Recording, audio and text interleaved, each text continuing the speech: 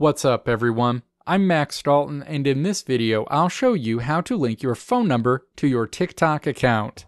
Linking your phone number to your TikTok account makes it easier for you to find people you know, gives you another option for resetting your TikTok password, enables the use of two-step verification, and more. Linking your phone number to your TikTok account only takes a few minutes. Now let's walk through the steps to link your phone number to your TikTok account. Step 1. Launch the TikTok app on your iPhone, iPad, or Android device. You'll land on your TikTok home screen. Step 2. Tap the profile icon at the bottom of the screen. You'll be routed to your TikTok account menu. Step 3. Tap the menu icon at the top of this screen. A menu pops up at the bottom of the screen. Step 4 Tap Settings and Privacy. The Settings and Privacy screen is shown. Step 5.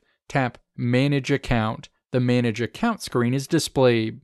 Step 6. Navigate to the Account Information section and then tap Phone Number in that section. The Enter Your Phone Number screen is displayed.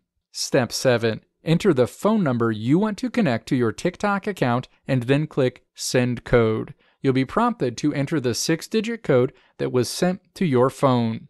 Step 8 Enter the six digit code. You'll be routed back to the Manage Account screen where you'll now see a note that your phone number was successfully changed. Your phone number is now linked to your TikTok account. Let me know if this video helped you out in the comments below. If you liked what you saw here, click the video links on the right side of the screen to check out another video. Or click the logo on the left side of the screen to check out my tutorial website at www.maxdalton.how.